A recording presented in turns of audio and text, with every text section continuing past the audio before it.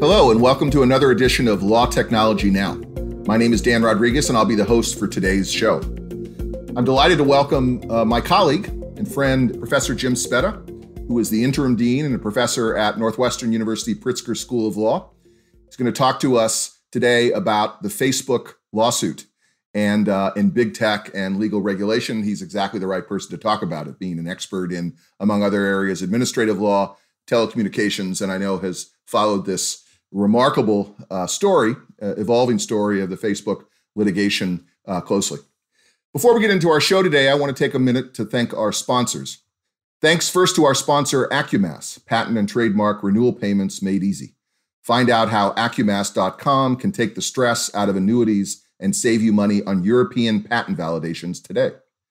Thanks also to our sponsor, Logikcull, instant discovery software for modern legal teams. Logikcull offers perfectly predictable pricing at just $250 per matter per month. Create your free account anytime at logikcull.com. That's logic with a K, C U L L dot com forward slash LTN. Before I get into uh, my conversation with Jim, I actually want to want to start by reporting to our listeners uh, some sad news, uh, and that is the passing earlier uh, this morning of uh, of my friend and our friend Paula Littlewood. Uh, when we were scheduling recordings for this month, I we had scheduled Legal Talk Network had scheduled a, a, conversation with Paula, who has been a guest, had been a guest on this show before, and and I'll simply say that many of of us who work on legal innovation and reform and legal services, knew of Paula's tremendous uh, work and her courage and her passion on behalf of access to justice. She had worked as the executive director at the Washington State Bar, and for many, and, and I had the privilege to serve with her on the Commission on the Future of Legal Services and also on the Board of Responsive Law. It's it's a sad passing. I'm sorry that we we didn't get to do this last recording, and I just know that she'll be very much missed by all of us and our listeners.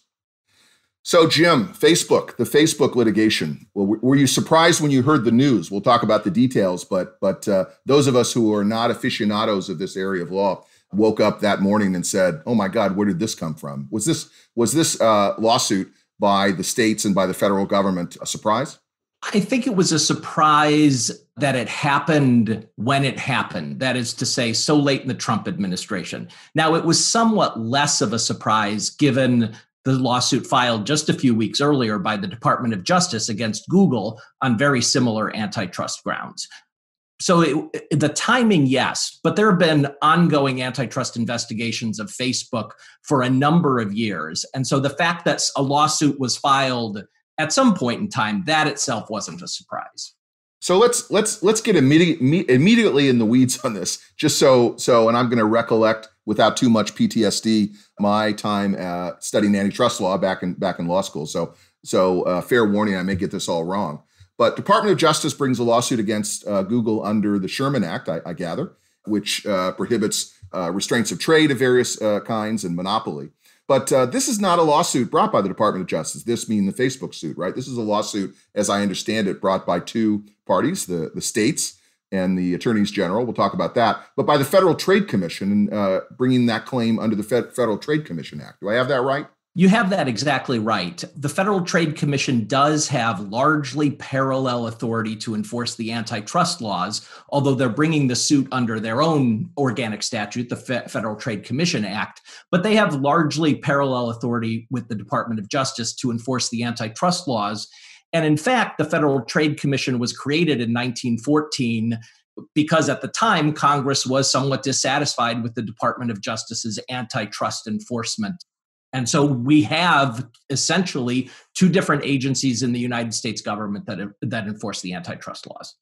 Now, I mean, I'm a little glib in, in putting it this way, but it's not like they've divided the world between one aspect of big tech, Facebook, and one and another Google and said, "Hey, Department of Justice, you get this company and we get that company." Right? It's nothing like that. So, what explains why the the the Google lawsuit is brought by the Department of Justice, which it was, as you mentioned, and but the Facebook lawsuit at the federal level is brought by the Federal Trade Commission. There is a little bit of history to it, and the history is actually a history of the Department of Justice and the Federal Trade Commission over the past decades becoming more cooperative as opposed to competitors in antitrust enforcement. And so they have informal understandings of which agencies cover which industries and which companies. In my earlier days as a telecom lawyer, before we called ourselves internet lawyers, the Department of Justice covered the telecom industry and the Federal Trade Commission covered the cable industry. Now it, both are internet companies, but there's a little bit of history as well as, you know, sort of behind the scenes agreement. One of the statutes that's going to be important here is the so-called Hart-Scott-Rodino Antitrust Improvement Act, which creates a procedure whereby big mergers have to be submitted to the government in advance. And that statute in fact says you have to submit your pre clearance information to both the Department of Justice and the Federal Trade Commission. And then the companies sort of wait to hear which agency is going to take the lead on any particular investigation. It's a really strange quirk of administrative governance, uh, but it is the case. We have two antitrust enforcers. Both of these uh, entities, uh, I'm saying entities rather than agencies because we might quibble about whether the Department of Justice is rightly called an agency, are exec are within the executive branch, are they not? Right. So so you're basically dealing with two executive branch uh, institutions. They are, although the Federal Trade Commission is set up as an independent agency. And that was one of the things Congress did in 1914 to create an entity that was separate from or more separate from the president and the executive branch. And so, with the progressive era and the New Deal sort of agencies, as you're very familiar with, the Federal Trade Commission is set up as an independent agency with five commissioners, three from one party and two from another party, eh, to have some more independence from the Department of Justice and the executive branch generally. Right. And a brief digression into Administrative Law 101, which is at least of interest to the two of us. there is, of course, that famous Supreme Court case from so many decades ago, Humphrey's Executor, that made clear that, that Congress could impose limitations on removability at will of FTC commissioners. So, with that in mind, let's let's uh, let's return to the Trump administration. Would it be accurate to say that the FTC as an agency has some practical independence from the White House in ways that the Department of Justice would not. Yes, it does. It does. Now, by long tradition and, and law in many cases, the party that holds the presidency also holds a majority of the positions on an independent commission. So there are three Republican commissioners and two Democratic commissioners on the Federal Trade Commission, at least until we get into the Biden administration in January. But there is independence, and that independence came to the forefront relatively recently in the Qualcomm antitrust litigation, which was brought in California, where the Federal Trade Commission brought the case against Qualcomm. And there were certain points in the case where the Department of Justice appeared to take an opposite position from the Federal Trade Commission in hmm. the same litigation an unusual circumstance where the where the U.S. government is saying different things from two different agencies, but it is something that can happen, and it is because of that independence of the Federal Trade Commission. In that case, I understand has been resolved, right? So that case is at, at, at an end for now. Did who, whose position prevailed as between the two that uh, the two uh, competing positions? I know they weren't completely competing all the time, but at least who who who would be the who would get the trophy? Well, Qualcomm gets the trophy. Um, right. Okay. Fair enough. All right, enough procedure. Uh, at least enough procedure for now. Let's let's look at what the complaint is about. What is the gravamen, as uh, as we lawyers say, of the complaint against uh, against Facebook? Uh, the gravamen of the complaint against Facebook is that they have monopolized the market for personal social network services. That's how it's described in the complaint. And there are three particular acts that the Federal Trade Commission identifies as contributing to that monopolization. The first of which is the 2012 Facebook acquisition of Instagram. The second is the 2014 Facebook acquisition of WhatsApp. And the third is a set of practices by which companies that do business on the Facebook platform through advertising, the development of apps for the Facebook platform, et cetera, agree that as a condition of having access to the Facebook platform, they will not develop services that are in competition with Facebook itself. And the complaint alleges that the combination of these actions by Facebook caused it to monopolize and to firm up its monopoly in the market for social network services. So the factual assumption there is that in the absence of acquisition, that either Instagram or WhatsApp or both would be competitors with Facebook? So both that they're in the same market and they would maybe rise up and have been competitive? Well, that's exactly right. The the theory of the complaint is that Instagram or WhatsApp or both of them were on a trajectory to become comp- competing social networks to Facebook. And in fact, the complaint is littered with quotes from Mark Zuckerberg and other insiders at Facebook saying things like, Instagram is growing. Instagram is going to become a competitor to us. Instagram is going to be a threat to us. Let's buy Instagram to head off that threat, or at least to give us more time to develop competing services. And similar quotations with respect to WhatsApp. It's a little hard in a vacuum to know what the context was for those quotations, but that is in fact the story that's told in the complaint. You mentioned two interesting dates 2012, 2014. They both share this in common they're quite a lot of time before 2020, right? In one case, eight years, in another six years. And so the, the, the, the, the federal government, not to mention the state governments, had every opportunity to challenge those mergers. You mentioned the pre-clearance requirement from the time of pre-clearance to now. Haven't they sort of been sitting on their hands for all this particular period of time and, and ought that to matter? They have, in the sense that uh, they did have the opportunity to challenge it. And, and just to, to give some more detail here, the HSR, the pre clearance process, requires the companies to file notice that they intend to merge and then to wait and then to give the government information if the government asks for additional information which it did uh, in these cases to a certain degree. And it gives the, uh, the the government an opportunity to sue to block the merger before it ever happens. Um, and in both cases the government did not. Um, does it put a deadline? I just want to jump in. Does it put a deadline on how long the government can wait before it brings its its claim and it is. It's just a 30 day deadline unless the government asks for information. What we call in the business issues a second request for information. Um, and it's called a second request because as you file initially to give the government notice uh, that you're planning a big merger, you have to provide a bunch of information right off the bat. But if the government files a request with the companies for more information, then that 30 day clock is tolled until such time as all the information comes in. And honestly, uh, and I practiced in this area for a while companies want to cooperate with the government so that the government will clear the deal and not not sue. So they often enter into agreements to toll the 30 day clock while the government thinks through the case and they try to convince the government that there really is no case, etc. But your fundamental point is exactly right. The government could have sued to block the Instagram merger in 2012. It could have sued to block the WhatsApp merger in 2014 it could have sued at any point since then to unwind the merger, which is what it's doing now in 2020. It is suing to unwind the merger.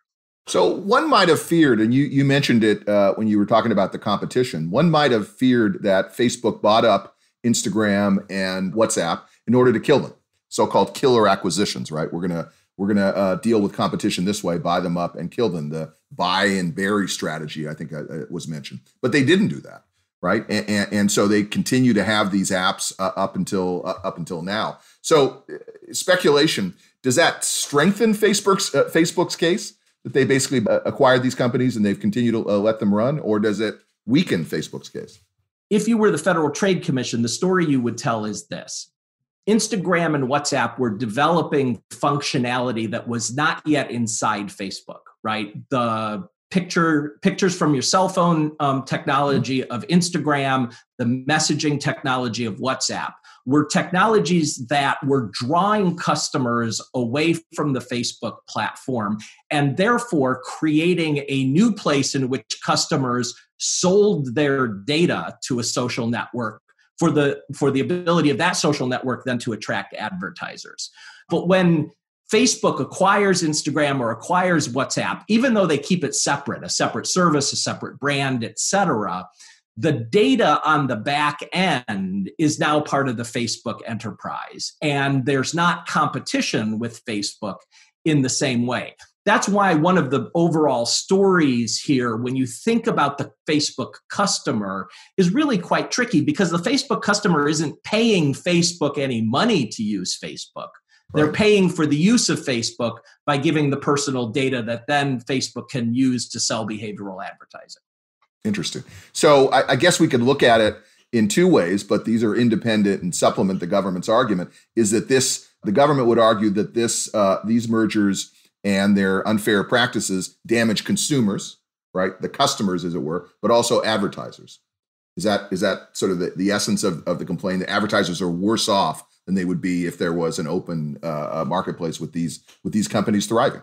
That that's exactly right. That's exactly right. With respect to consumers, the consumer harm argument that the government will put forward, and it's a consumer harm argument that they're going to put forward in the Google case as well, is that limited competition means that customers don't have choices among social networks based on those social networks' privacy policies, right? The only social network that they can pick is Facebook, and Facebook has extraordinarily, let's say, acquisitive privacy policies. They, they acquire the data of customers um, really quite completely. Whereas if there were competition, consumers might be able to choose a social network that has uh, better privacy policies, more pro consumer privacy policies. On the other side of the market, the advertiser side of the market, it means that Facebook doesn't face as much competition in behavioral advertising because it's one of the only places with a significant amount of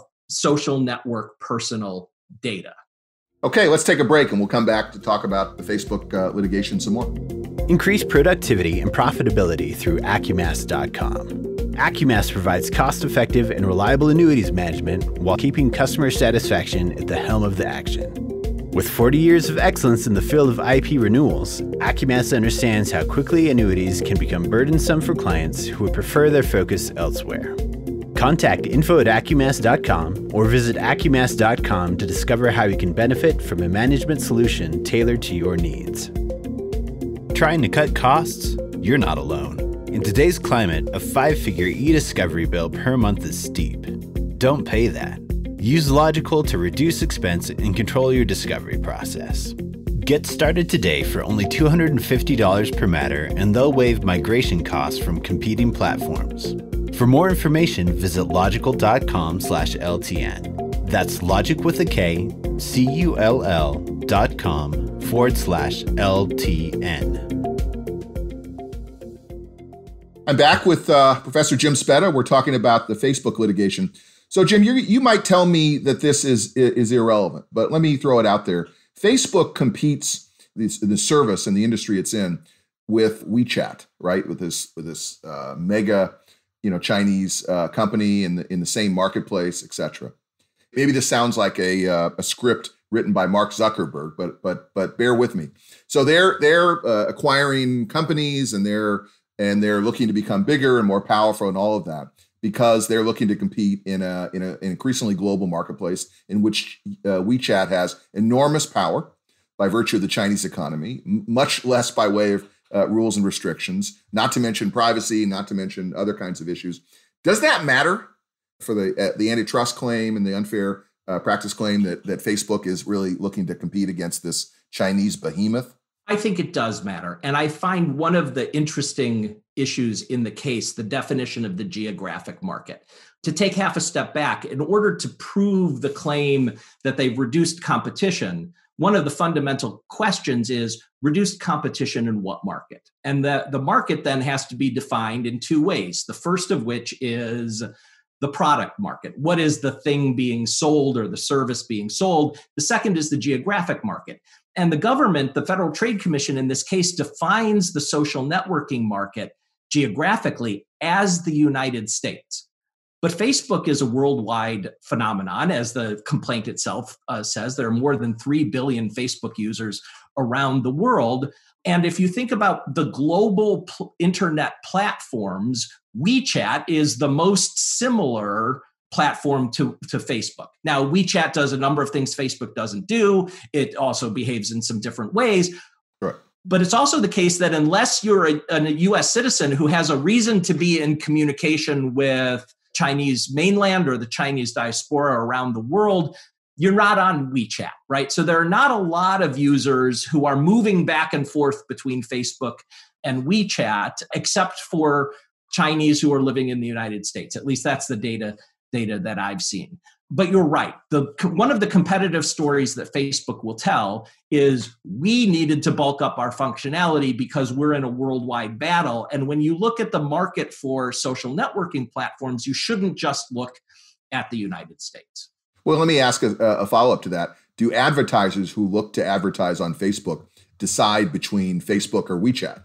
I imagine those are two very different markets markets uh, uh as well, right? I mean, in support of the government's position, there yes, there may be two social media platforms, but they're on different planets in terms of accessibility and and uh, and negotiability among advertisers. Yeah, I think that's the key question. I don't have any insight into that data, although I'm sure that the lawyers and the economists who are working on these cases are going to be asking exactly that question.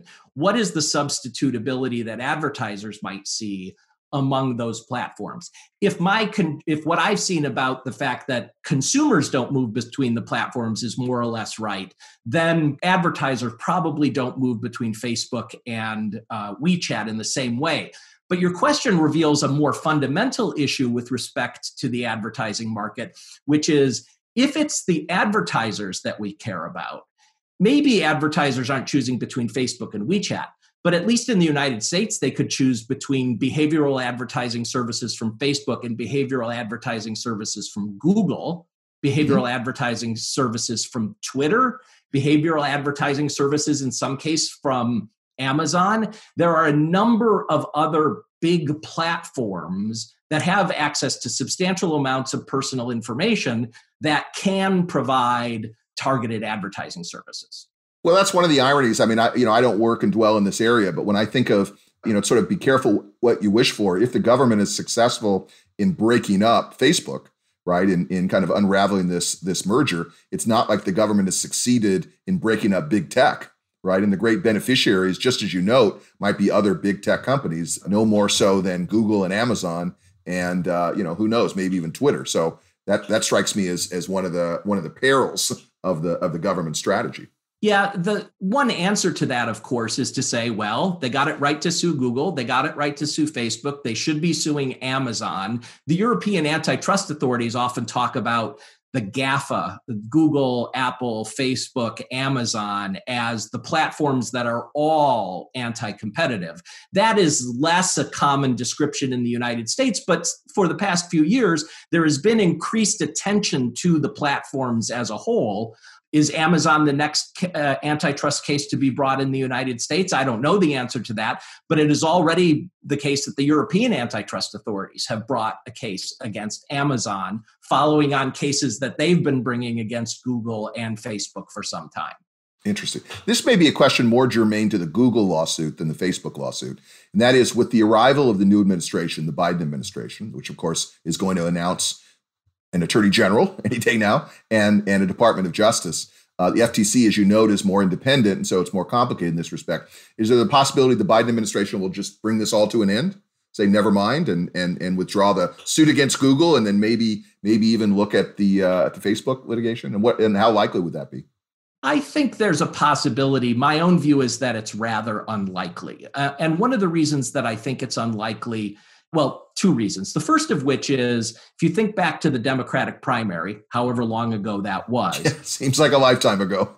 there were a number of candidates, Elizabeth Warren most prominently, but a number of other candidates who talked a lot about a reinvigoration of antitrust and talked specifically about the use of antitrust against the platforms um, and, and, and in fairly aggressive aggressive strokes. Um, and I think that that wing of the Democratic Party is still around and it's going to put some pressure on the Biden administration.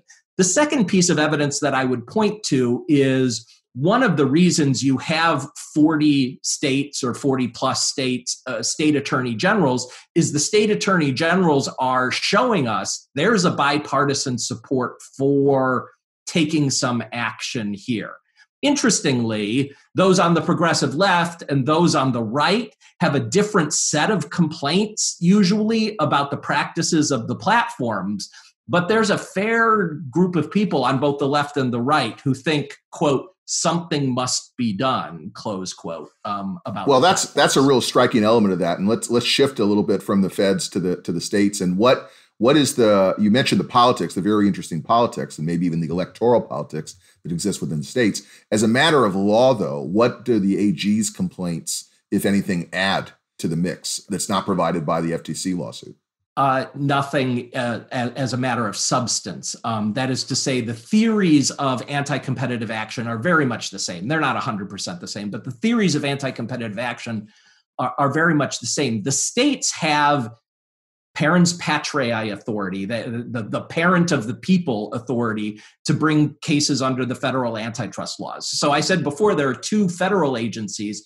There are two federal agencies. There are all the state attorney generals. There's private litigation. The one of the features uh, or bugs, if you prefer, of our antitrust laws is that it has multiple possible enforcers, and the states are enforcers of the federal antitrust law, and they are also enforcers of their own state antitrust laws. Although in most cases, those state antitrust laws are very similar to the federal law. Are they very similar with respect to uh, damages and remedy? I recall that the, under the Sherman Act, you get treble damages if you prevail. Is that does that exist? Under state law such that there could be supplementary damages that could be enormous if Facebook were to lose this case, right?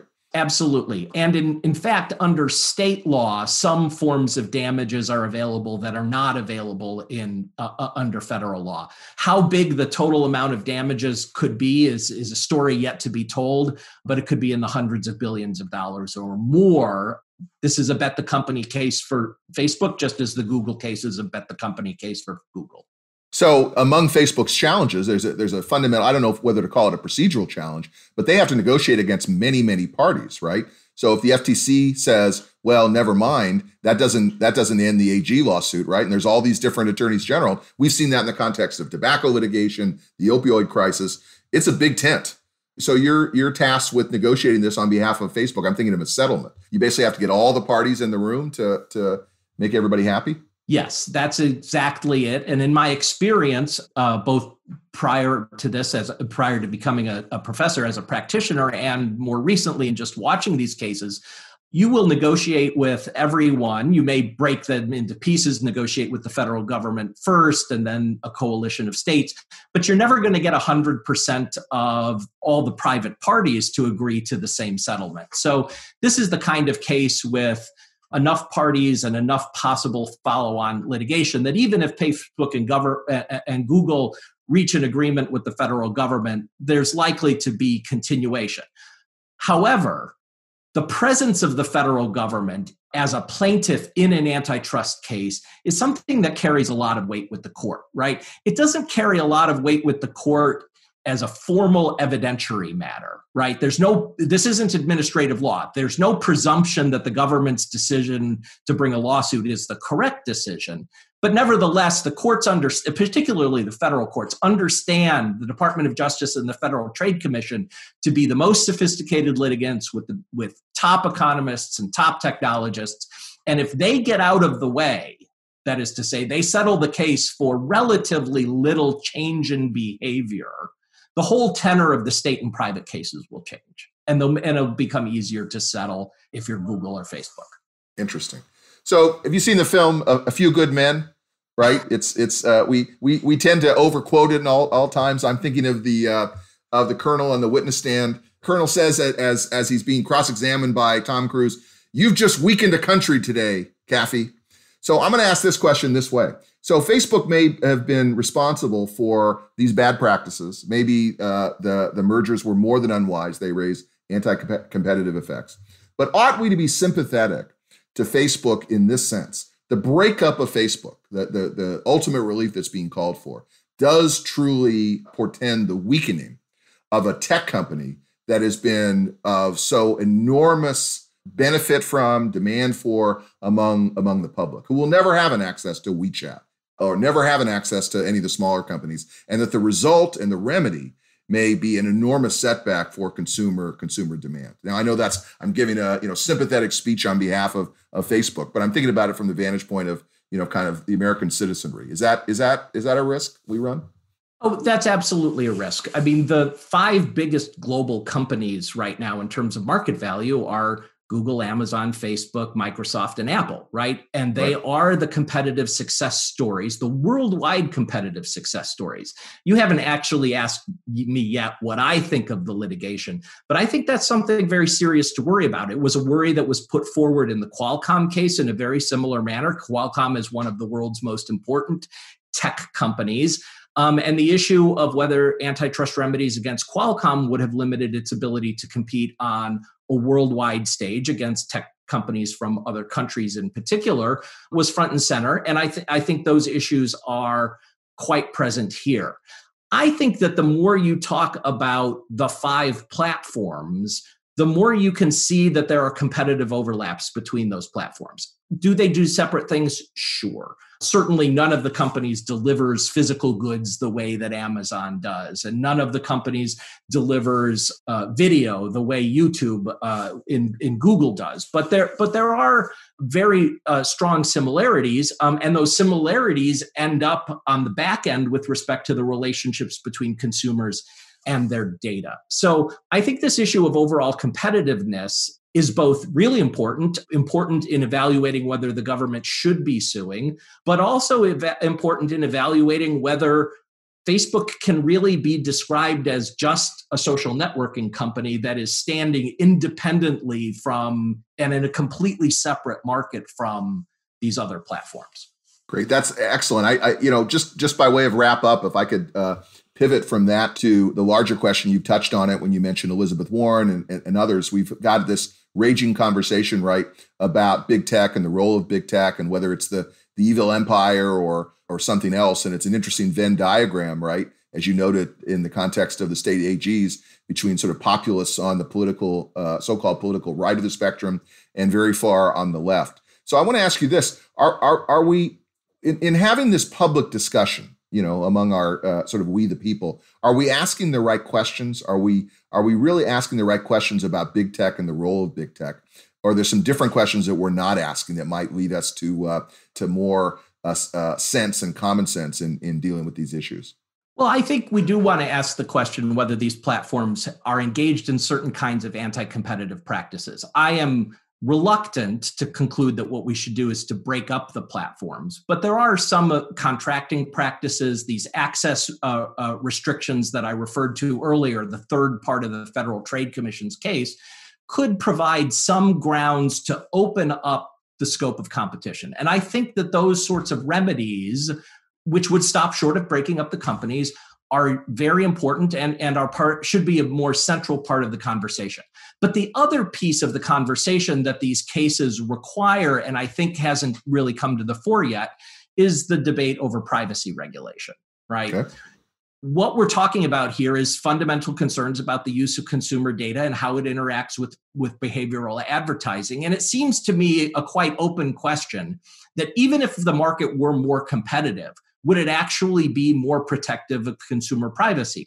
I have my doubts, and I have my doubts largely because I don't think that it is possible for individual consumers to attend to privacy in the way that we think could be beneficial.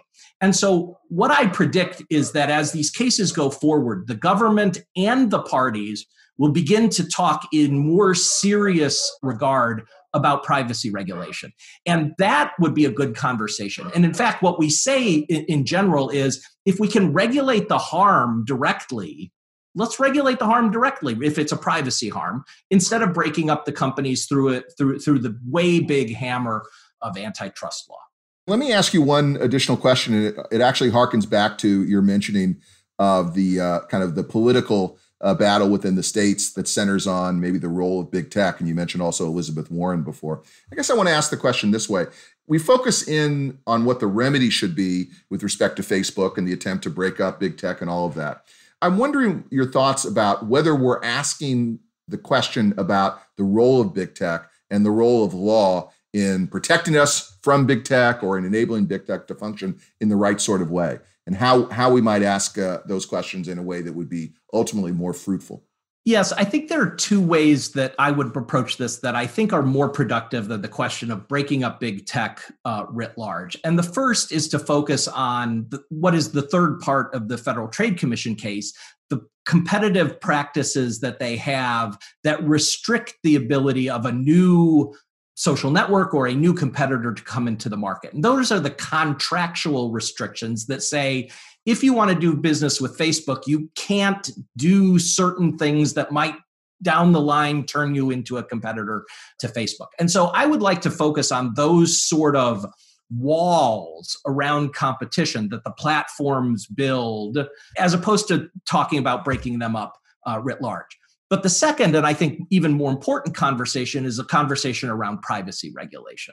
One of the fundamental assumptions of the government's case is that consumers are being injured by the way their data is being used and that it would be better if consumers had a competitive market and could therefore choose how their data was going to be used. But I don't have the same confidence in the markets being able to solve the harms that arise from the use of consumer data. In fact, I think it is like more like health and safety regulation than it is like market regulation. And so in those circumstances, I'd like us to have a really serious discussion about what sorts of privacy regulations we should put on the use of consumer data. And in fact, my prediction is as these cases go on, the government and the companies will have that conversation, and that may be where the settlement for the antitrust uh, cases actually comes agreements about how to treat consumer data. And I take it that even out of those agreements that may may come from settlement or relief, those conversations need also to happen in Congress, right, within the White House and within administrative agencies, just to be able to tackle these issues in ways that, however Herculean the efforts of courts and lawyers, need more folks at the table. Absolutely. And Congress is really the key piece in this puzzle. For almost a decade, the Federal Trade Commission has been publishing reports, holding workshops, giving testimony in Congress, and saying to Congress, we really need you to bite down on the question of privacy regulation in the internet and more particularly in the large platforms. And there hasn't been that movement in Congress. I don't know whether to be optimistic or pessimistic that Congress will come to the table, but they're the key actor right now. Well, thanks so much, Jim. It looks like we've reached the end of our time for this episode. I want to thank Dean Jim Speta for joining us uh, today. If our, if our listeners have questions or wish to follow up with you, how can they reach you? Uh, they can find my email on the Northwestern uh, website, james.speta at northwestern.edu. His professional life is an open book. and uh, I want to thank our listeners for tuning in. If you like what you heard, please rate and review us in Apple Podcasts, Google Podcasts, Spotify, or your favorite podcasting app. I'm Dan Rodriguez signing off for Law Technology Now. Until next time, thank you for listening. If you'd like more information about what you've heard today, please visit LegalTalkNetwork.com. Subscribe via iTunes and RSS. Find us on Twitter and Facebook, or download our free Legal Talk Network app in Google Play and iTunes. The views expressed by the participants of this program are their own and do not represent the views of, nor are they endorsed by, Legal Talk Network, its officers, directors, employees, agents, representatives, shareholders, and subsidiaries. None of the content should be considered legal advice. As always, consult a lawyer.